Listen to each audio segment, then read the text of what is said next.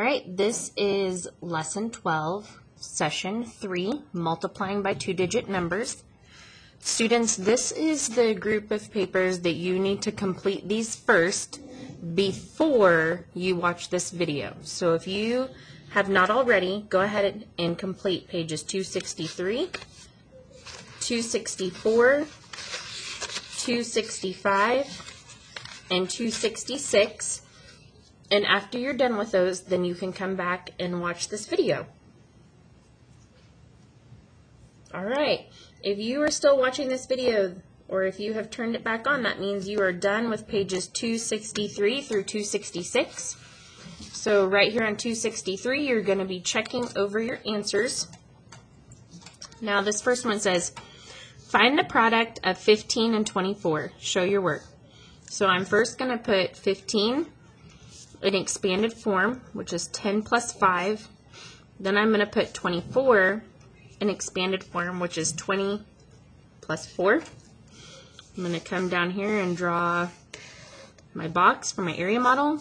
I'm going to put one of them over on this side, and I'm going to put the other on the top. Any place where there's a plus sign is going to get divided. And now I am ready to multiply.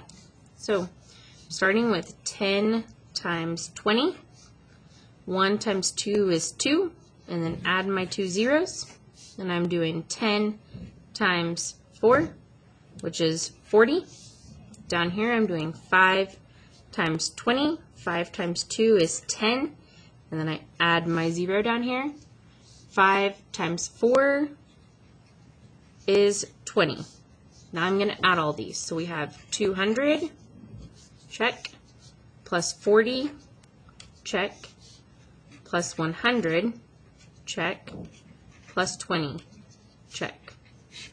Add them together, 0 is a 0, 0 plus 4 plus 0 plus 2 is 6, 2 plus 1 is 2. So my answer here is 260. Let's go ahead and move on to page 264. Okay. What is the product of 12 and 32? So this time I'm going to use the partial products method, but if you want to use the area model, you are welcome to do the area model. So our problem here is 12 times 32 I'm going to start off by covering this right here. So I have two ones times two ones. Then I have two ones times one ten. Now I can open this up. Now I have three tens times two ones, then three tens times 110. Now I'm ready to solve. 2 ones times 2 ones is the same as 2 times 2, and the answer is 4. 2 ones times 110, 110 is the same as 10, so 2 times 10 is 20. 3 tens, which is 30, times 2 ones is like 30 times 2. So 3 times 2 is 6, and then we add our 0, which is 60 three tens, which is 30, times one ten, which is 10. So we have 3 times 1, which is 3, and then we add our two zeros. So we add it together. 4 plus zeros is 4. 6 plus 2 is 8. And then bring down our 3. So our answer is 384. Okay, now we're moving on to number three. A deli is preparing trays of sandwiches. There are 48 trays, so trays of sandwiches, 48 trays. Each tray has 23 sandwiches. How many sandwiches are there?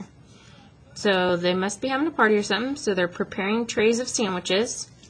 48 times 23 is our problem here. I don't really have enough room right here, so I'm going to go up here to do this, but before I do that, I'm going to put these in expanded form right here. So I have 40 plus 8, 20 plus 3. And then I'm going to come up here to solve this problem. I'm going to make my box. 40 plus 8, 20 plus 3, where my pluses are, is going to get lines. And now I'm ready to solve it. Okay. 40 times 20. 4 times 2 is 8 plus 2 zeros. 40 times 3. 4 times 3 is 12 plus 1 zero. 8 times 20. 8 times 2 is 16. Add a 0. 8 times 3, which is 24. Now I'm going to add these numbers together. 800 plus 120 plus 160 plus 24. Zeros plus 4. 2 plus 6 is 8, plus 2 more is 10. 8, 9, 10, 11. 1,104, and I can see that that is number C. Nathan chose A as the correct answer. How did he get that answer? Well, let's look here. If he got 240, hmm, it looks like he probably left something out.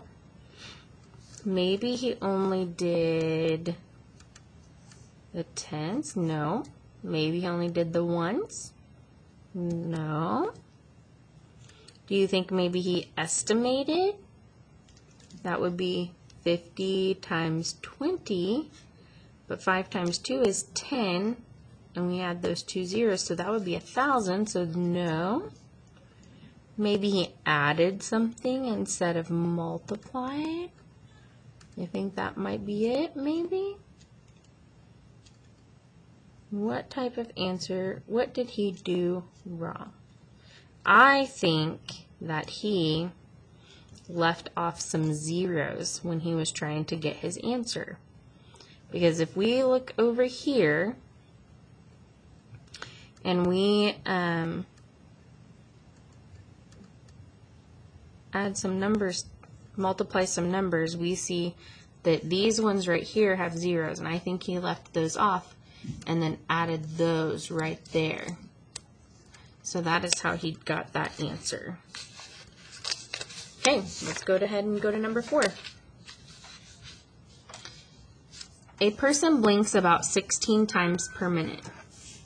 About how many times does a person blink in three hours? And then it gives us a hint that one hour is 60 minutes. Okay? How many times does a person blink in three hours if they blink 16 times per minute? Okay? So first, this is kind of a multi-step problem because first we have to do 16 times 60 and then that answer we have to multiply times 3. Okay, so first let's do this one. This is 60 plus 0, and then this is 10 plus 6. 60 times 10 is 600. 60 times 6 is 360, then 0 and 0. So 600 plus 360 would be 960. Okay, so 960 times in an hour, but we need three hours. So we need 960 times 3. Okay, 3 times 0 is 0. 3 times 6 is 18. 3 times 9 is 27. 28. So 2,880 is our answer. What is the product of 47 91? Well, let's put 47 into expanded form. Let's put 91 into expanded form. And then let's draw our area model. 40 plus 7, 90 plus 1. So 40 times 90, so 4 times 9 is 36 plus 2 zeros. 40 times 1 is 40.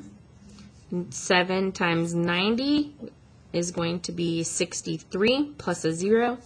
And 7 times 1 is 7. Let's add those together. 3600 plus 40 plus 630 plus 7. Zeros and 7. 4 and 3 is 7. 6 and 6 is 12 and a 4. So 4,277. Number 6. Which models below could represent the solution to the problem 45 times 15? Okay, over here, if you do 10 plus 5, you get 15. Up here, if you do 40 plus 5, you get 45. That matches, so A would work. Down here, we're making jumps that are 15 each, but we would have to jump 45 times, and they only jumped one, two, three times. So that one would not work. Okay, down here, 4 times 1. Do we have a, anything in the ones place? No. So this one we already know is not going to work. 10 times 40, 10 times 5. Yeah, if we broke 15 apart into 10 and 5 and broke this apart into 40 and 5, 10 times 40, 10 times 5, yeah. 5 times 40, 5 times 5, 5 times 40, 5 times 5. That one works. And then our last one, here's jumps that are 45 each. So if there's 15 of them, this will work. 1, 2, 3, 4, 5, 6, 7, 8, 9, 10, 11, 12, 13, 14, 15. This one works. I'm going to tell you that you're going to have one that looks just like this on your graded assignment. So see here, all here, this jump is worth 45. Well, we've got a 45 right here. So if we can do 45 15 times, that would be what the answer would be, which is 675. Go ahead and turn to page 266. Okay. Complete each equation below using a factor between 20 and 30 so that the missing factor in Ian's equation will give the greatest possible three-digit product. Well, if we pick a number between 20 and 30, the highest number we can pick before we get 20 is 29. Now on here, the missing factor in Tia's equation will give the least possible four-digit product. Well, between 20 and 30, the smallest one between them would be 21. So this one is 29, and this one is 21. First, I'm going to do ands.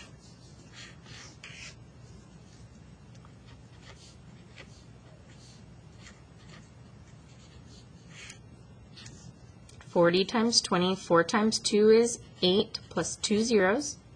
Four times nine is thirty-six, plus a zero.